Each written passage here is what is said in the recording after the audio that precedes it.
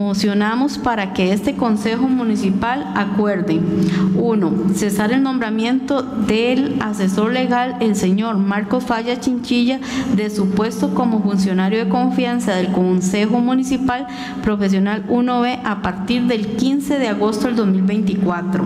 Dos, iniciar a partir de la firmeza de este acuerdo los trámites necesarios para la contratación de un profesional en derecho que asuma la función de asesor jurídico del Consejo con las obligaciones y derecho inherente a este cargo y según los requerimientos establecidos por el Departamento de Recursos Humanos de la Municipalidad y aquellos que expresamente le asigne este Consejo.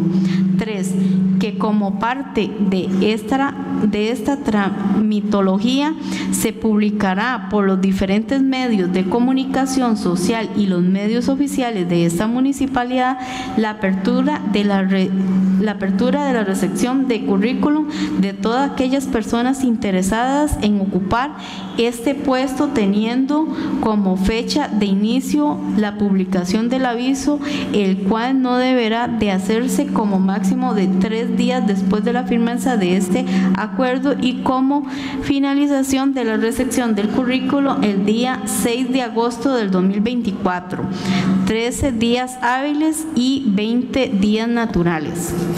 Someto a votación la dispensa de trámite de comisión de la moción presentada. Aquellos regidores que estén de acuerdo, a favor, levantar su mano. Se dispensa el trámite de comisión. Someto a votación el contenido de la moción. Aquellos regidores que estén de acuerdo, favor, levantar su mano. Se aprueba la moción con nueve votos.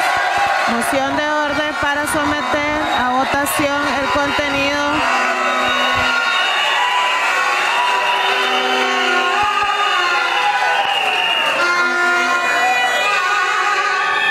de orden para someter a votación el contenido de la moción en firme. Aquellos regidores que estén de acuerdo, favor levantar su mano. Nueve votos, queda en. Esta fue la moción que presentaron los nueve regidores y que aprobaron de manera unánime en la sesión municipal del martes 16 de julio, con el fin de cesar a partir del 15 de agosto al asesor legal que se desempeñaba en este momento por parte del Consejo Municipal y comenzar las gestiones para la contratación de una nueva persona. Este funcionario continúa sus labores como abogado de la Administración Municipal.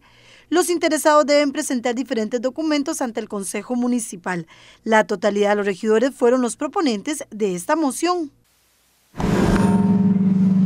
Moción con dispensa de trámite de comisión presentada por los regidores Marvin Arias Retana, Milena Elizondo Segura, Josefa Fallas Ureña y Wilber Ureña Bonilla, Ronnie Monje Zúñiga, Andrea Herrera Chávez, Carlos Zúñiga Montero, Anaís Barrantes Mora y Edgar Mena Rodríguez, considerando que, uno, actualmente el Consejo Municipal cuenta con el señor Marcos Falla Chinchilla como asesor jurídico nombrado al amparo del artículo 127 del Código Municipal bajo el régimen de funcionario de confianza. Dos, que el funcionario supracitado tiene nombramiento en propiedad como parte del staff de abogados de la administración municipal y que fue nombrado en el puesto de asesor de este órgano deliberativo regidores que conforman el Consejo de periodos anteriores al actual. Tres, que los regidores proponentes consideran necesario y oportuno que la integración actual de este Consejo cuente con un asesor jurídico de entera confianza de todas las fracciones que lo conforman y que, procurando la independencia de su criterio, este profesional no tenga ligamen con la administración municipal. Cuatro, según lo indicado en el Tribunal de Trabajo, el empleado de confianza está sujeto a una relación laboral en el, en el que el factor confianza adquiere un grado de importancia tal que lo hace diferente de los demás empleados comunes. Las personas presentes en el Complejo Cultural en San Isidro el General se levantaron y celebraron esta decisión. Música